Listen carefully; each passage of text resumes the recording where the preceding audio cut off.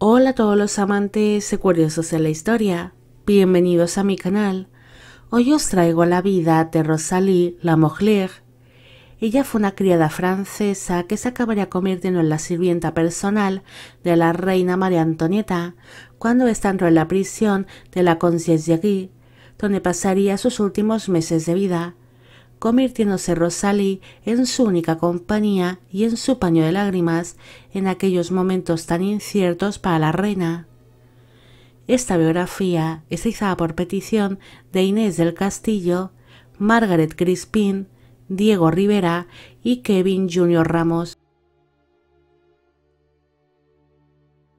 Marie Rosalie Lamogler nació el 19 de marzo de 1768 en la población de Bretagne, en Francia. Fue hija del zapatero François Lamogler y de la esposa de este, Marguerite Charlotte Baconsan. El matrimonio tuvo siete hijos en común, siendo Rosalie la cuarta de sus vástagos. Apenas hay datos sobre su infancia y juventud, Tan solo se sabe que la familia Lamogler se veía afectada por serios problemas económicos. Su padre llegaría a estar realmente arruinado y su madre falleció cuando ella tan solo tenía 12 años de edad. Es por ello que desde bien joven se instaló en la ciudad de París y se convirtió en la criada de una mujer que se hacía llamar Madame Beliul, la cual era la madre de un famoso comediante y actor parisino además de que ésta era una mujer de firmes ideas realistas y se mostraba en favor de la monarquía francesa.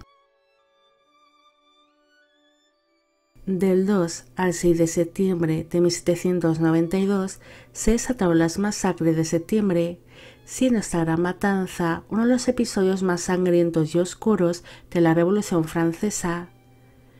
Tras aquella gran masacre, su señora decidió abandonar París por miedo a los revolucionarios, no sin antes tener un buen gesto con su criada y buscarla unos buenos señores a los cuales servir. Es así como Rosalie empezó a trabajar para la pareja que dirigía el famoso palacio de la Conciergerie, el cual se encontraba muy cerca de la casa donde había estado sirviendo hasta ese momento. El 6 de abril de 1793 se instaló el Tribunal Revolucionario en la primera planta de una de las salas del palacio, y poco a poco las antiguas celdas del edificio se fueron llenando de presos, ya que las otras prisiones parisinas estaban realmente abarrotadas de prisioneros que estaban esperando su triste final. Así que dicho palacio llegaría a albergar rápidamente más de un centenar de presos. Rosalie tuvo que vivir en la conciergerie en aquellos momentos tan difíciles, ya que el lugar se convirtió en las peores cárceles de Francia, donde los presos sufrían toda clase de abusos por parte de los carceleros y de los soldados que los custodiaban, además de vivir bajo una gran insalubridad y entre enfermedades. En aquella prisión se hacían juicios rápidos, donde la gran mayoría de los prisioneros que eran sacados de sus celdas para ser juzgados no regresaban, siendo ejecutados unos detrás de otros en la guillotina que se encontraba en el patio del palacio, amontonando después sus cuerpos en una esquina, esperando a ser enterrados en alguna fosa común. Rosalie era consciente del terror y de la tristeza que se vivía entre los muros de aquel palacio convertido en prisión, pero ella se centró en servir a sus señores, hasta que éstos la encomendaron la tarea de servir a una de sus prisioneras más destacables, la propia reina María Antonieta, la cual había llegado a dicho lugar en la madrugada del 1 de agosto de 1793, bajo la identidad de la prisionera número 280. La celda de la reina María Antonieta era una de las mejores de aquella prisión dentro de lo que cabía, ya que se había destinado para ella la antigua sala de reuniones de los carceleros, donde tuvo para ella sola un incómodo catre, un escritorio, una mesa con dos sillas, un sillón y una pequeña cómoda para que guardase la poca ropa que se le permitió conservar. Aquella celda era algo estrecha, pero era más espaciosa que las demás celdas, que normalmente eran compartidas por varias personas, además de que tiene una pequeña ventana que daba al jardín donde podían pasear las mujeres que obtenían el permiso correspondiente para poder tomar el aire fresco. Rosalie no solo se convirtió en la criada personal de la reina, sino que también fue su única compañía con la cual poder hablar y desahogarse, mientras ambas mujeres estaban bajo una estricta vigilancia por parte de los guardias que custodiaban su celda. En septiembre de 1793 se llevó a cabo el conocido complot del Clavel, que fue dirigido por Alexander Gons de Gusville, el cual intentó ayudar a la reina a fugarse a la prisión. Para ello se sobornaron algunos guardias que dejarían el camino libre para que María Antonieta pudiese huir, pero aquel plan no pudo llevarse a cabo debido a que Alexander fue descubierto por otros guardias que no habían sido sobornados, los cuales tiró la voz de alarma, así que esto provocó que la reina y su criada fuesen obligadas a permanecer en otra celda que era más pequeña y sin comodidades, teniendo tan solo un pequeño catre y un biombo que sería lo único que separaría a la reina de sus guardias, siendo esto muy humillante para María Antonieta, porque perdía por completo la poca privacidad que ella tenía. Según las memorias de Rosalí, María Antonieta se encontraba sumamente triste tras ser separada de sus hijos y tras la ejecución de su marido, el rey Luis XVI de Francia. También relató que la reina estaba experimentando de abundantes e irregulares menstruaciones debido al estado de nervios en el que se encontraba constantemente. En una ocasión, María Antonieta tuvo una gran hemorragia mientras se encontraba menstruando, manchando así su vestido y su catré. Así que la reina pidió disimuladamente a su criada que le consiguiese una sábana con la cual fabricar unos paños para contener la sangre. Pero los guardias le negaron a Rosalí el abandonar la celda a la reina, así que sin dudarlo decidió romper algunas partes de su propio vestido para hacer los paños que la reina le había pedido. Después cogió la sábana ensangrentada, intentando con esta y con el biombo ocultar a María Antonieta mientras ésta se colocaba aquellos paños improvisados para contener la hemorragia menstrual, ocultándola así de la mirada de los guardias, los cuales no quitaban ojo a la reina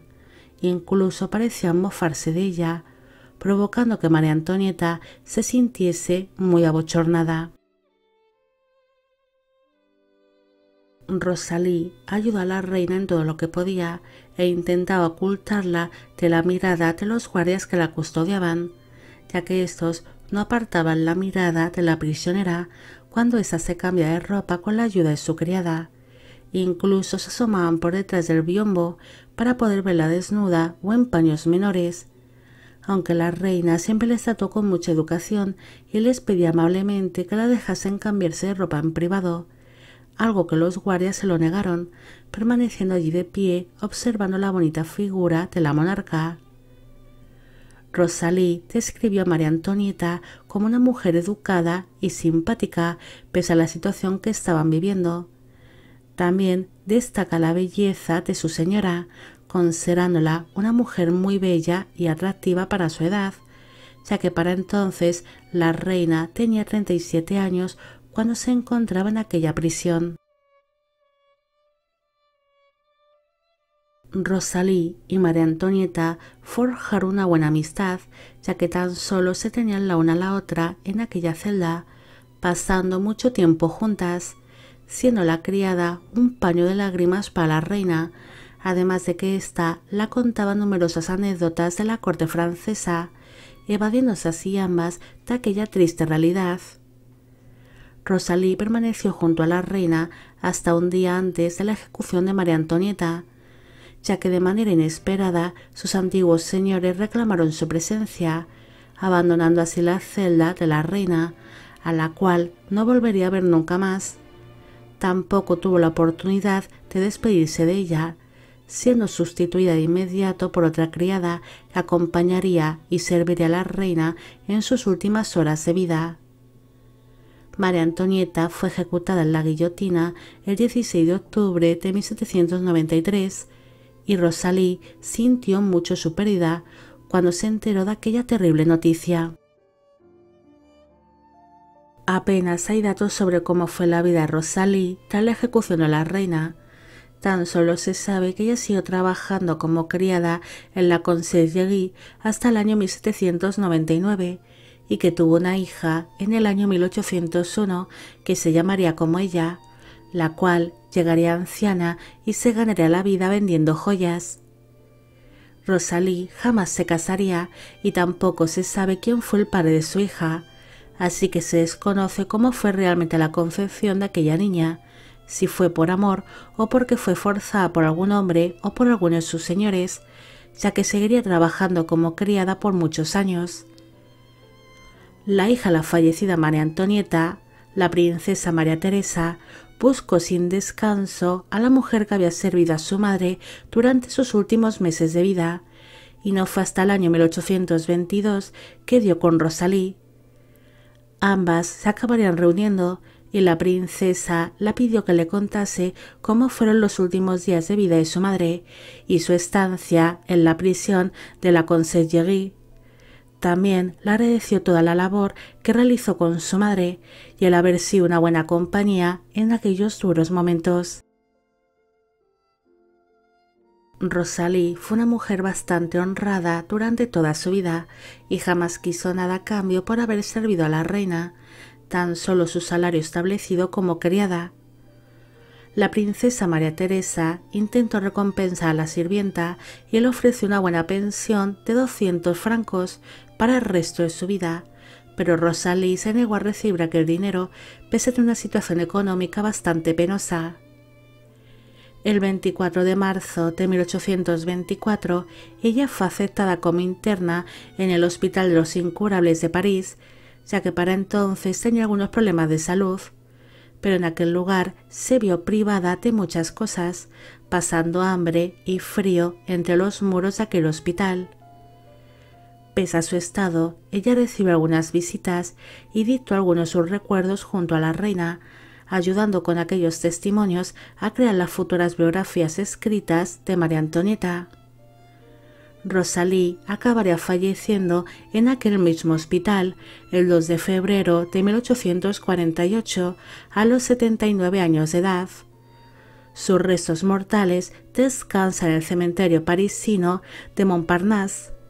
aunque su hija ordenó colocar una placa conmemorativa en honor a su fallecida madre en el cementerio Père Lachaise.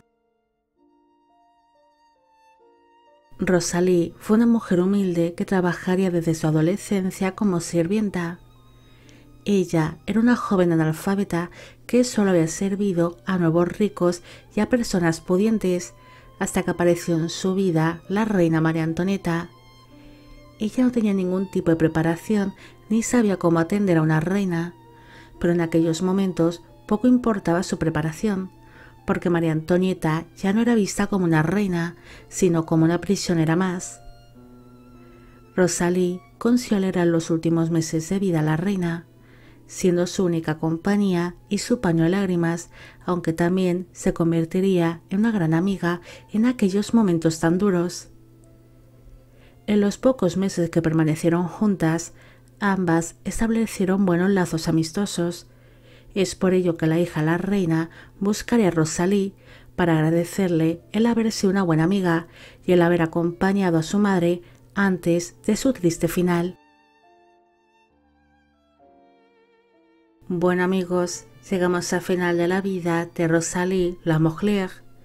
Espero que os haya gustado esta historia y espero que a todos los que pedisteis que se un vídeo sobre ella también.